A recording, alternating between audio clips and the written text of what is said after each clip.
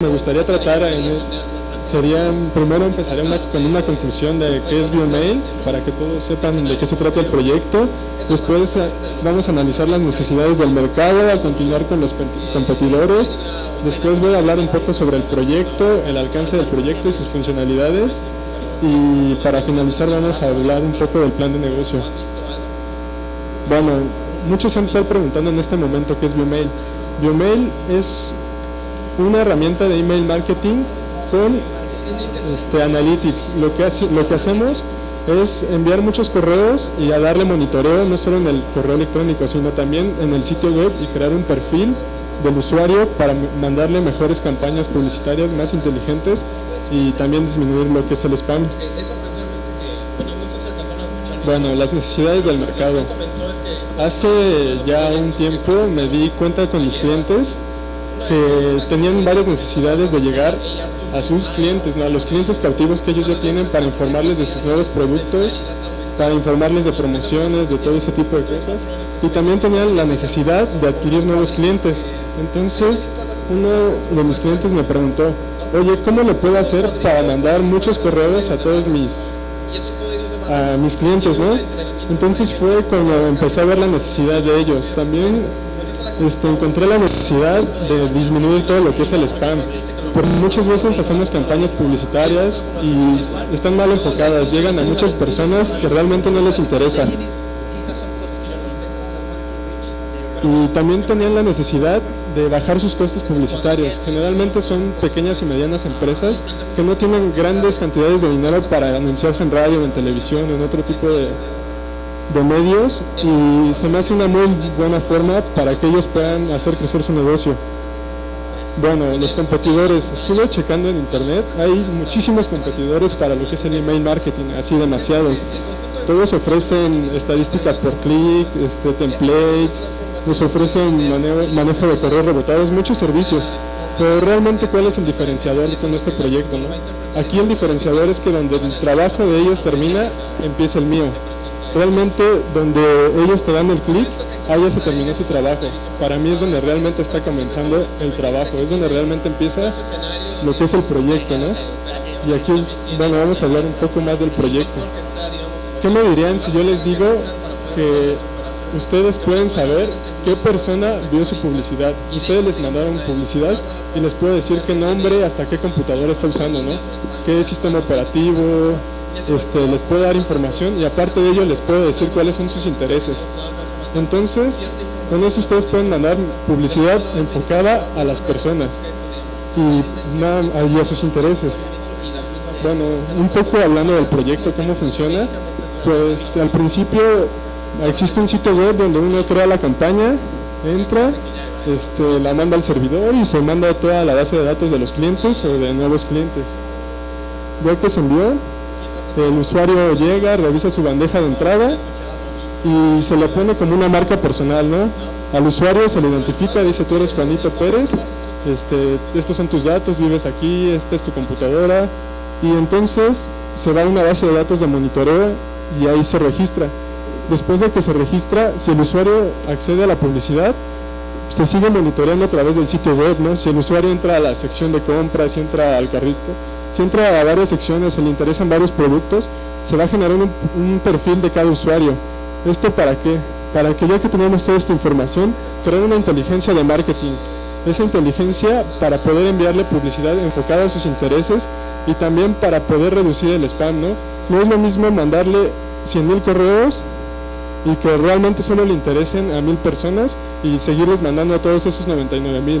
Realmente ya tienes tu mercado, que son esos mil, y para qué irte con los demás, ¿no? Y aparte, si sabes sus intereses, pues ya puedes llegarles de una mejor forma y también ir interactuando con el sitio.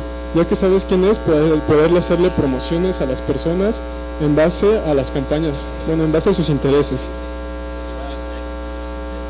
Bueno, el alcance del proyecto. En primer lugar, pues baja en gran medida todo lo que es el spam, reduce costos publicitarios, aumenta el impacto de las campañas porque pues ya van dirigidas a una persona, a un mercado, a sus intereses y también optimiza los recursos y el tiempo porque ya no pierdes demasiado tiempo mandando basura y pues no gasta los mismos recursos, ¿no? Y la funcionalidad, pues principalmente estaba pensado para apoyar a pequeñas y medianas empresas, difundir productos y servicios, o por ejemplo eventos como este, que puedas mandar este, todas las campañas publicitarias. Este, y bueno, van a ir enfocados al perfil, y algo muy importante es que las empresas realmente saben cuál es el impacto que está teniendo su campaña publicitaria. Algo muy diferente a lo que hace la televisión o el radio, ¿no? Te da un rating, pero realmente no sabes quién es y qué le interesa. Entonces aquí ya sabes quién es y, quién y qué le interesa a cada persona. Entonces es un gran diferenciador. Bueno, las necesidades del proyecto. Este, ¿Por qué estoy aquí, no? Lo que estoy buscando son inversionistas, gente que realmente quiere invertir en este proyecto, quiero capital, quiero infraestructura, es lo que realmente ahorita necesito para echar a andar este proyecto. Existe ya un demo con funcionalidades básicas, pero pues falta mucho desarrollo, falta infraestructura para echarlo adelante, ¿no? Y vamos a hablar de lo que es el plan de negocios, ¿no? ¿En qué forma se va a sustentar el proyecto? Bueno, existen dos formas. Una que es la tradicional que hacen todas las empresas, de email marketing que te dan cierto número de correos y en base a esos números de correos te cobran una cuota mensual. Pero a mí no me gusta esa forma.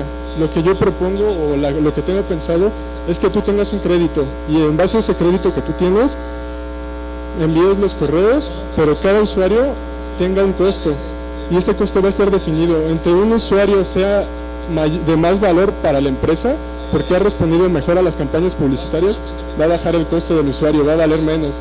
Vas a cobrar, voy a cobrar menos por ese usuario, por mandarle publicidad a ese usuario que es bueno para tu empresa.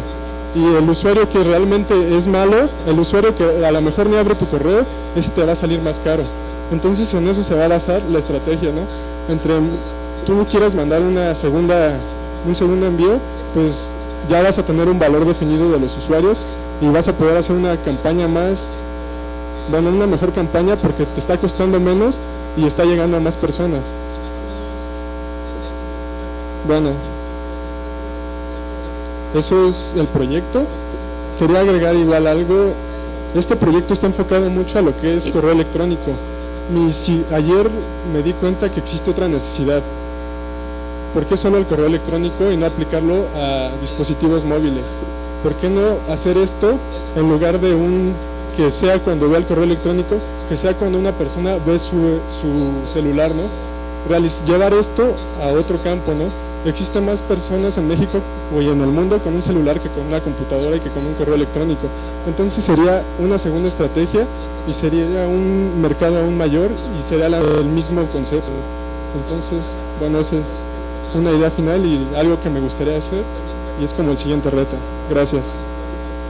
¿Alguna pregunta?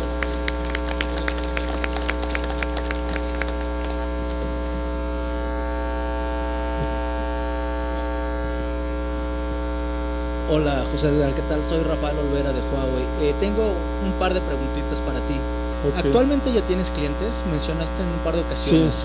Sí, sí, ahorita tengo tres clientes. Este, uno es una empresa que se dedica a dar cursos, otra una empresa comercial que desarrolla productos y así.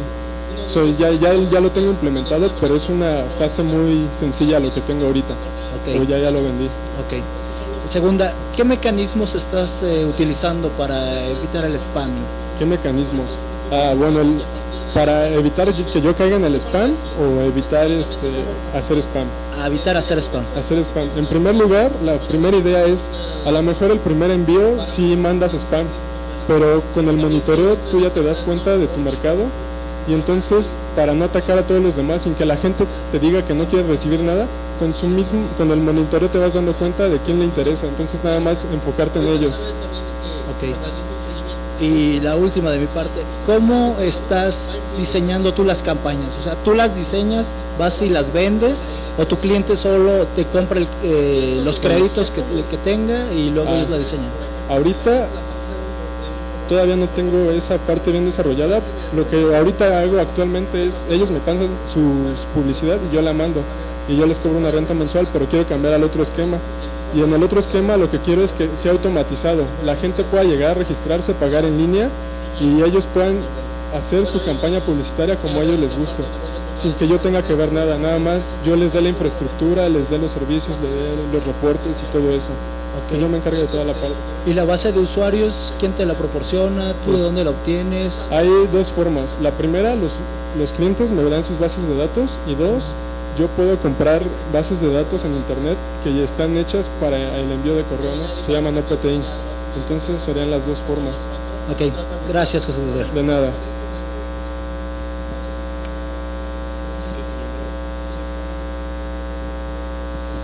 José Edgar, eh, soy Pachi Piña de Movistar Telefónica. Quería preguntarte, ha habido un momento al principio de tu presentación que has dicho que sobre todo este producto está pensado para pymes. ¿Por qué estás pensando en eso? ¿Por qué Ah. estás eh, eliminando a las grandes empresas? Bueno, no las estoy eliminando, pero hasta donde mi infraestructura me da es enfocado a empresas un poco más pequeñas. No estoy descartando a grandes empresas. Simplemente creo que el alcance hasta este momento sería pequeñas y medianas empresas. Sé que se puede implantar en grandes empresas, pero necesito crecer mi infraestructura también, porque no puedo comprometerme a mandar millones de correos y, y hacer un monitoreo a millones de correos si no tengo la infraestructura. Entonces, se puede aplicar a todo tipo de empresas, pero me estoy centrando en eso porque igual es mi mercado. Aquí en México hay más pequeñas y medianas empresas que grandes empresas. ¿Alguna otra pregunta? ¿No? Bueno, muchísimas gracias. Sería todo por mi parte. Gracias, Edgar. A continuación vamos a escuchar la, la ponencia.